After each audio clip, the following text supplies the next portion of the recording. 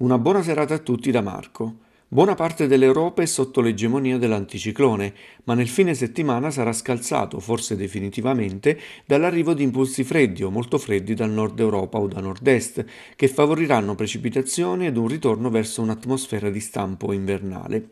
Intanto per domani, e almeno fino a giovedì, il tempo continuerà ad essere pienamente soleggiato in tutta la penisola.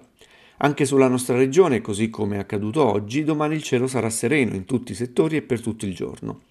La ventilazione sarà debolissima di direzione variabile a regime di brezza sulle coste, il mare calmo o quasi calmo.